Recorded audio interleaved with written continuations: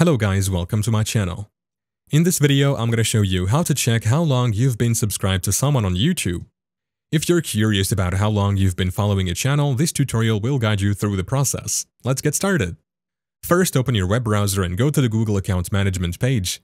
You can get there by typing myaccount.google.com into your address bar and pressing enter.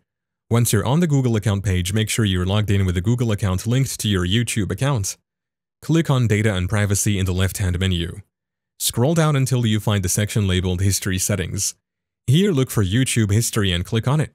Now look for Manage History and click on it. This will take you to a page where you can manage your YouTube settings and subscriptions.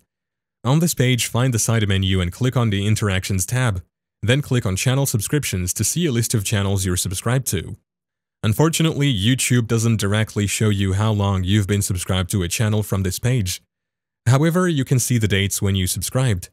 And that's it, while YouTube doesn't provide a direct way to see subscription duration. Checking video dates in your subscription history can help. Thank you for watching. If this video was helpful, please leave a like and subscribe to my channel for more videos like this, and click on that notification bell to never miss an update.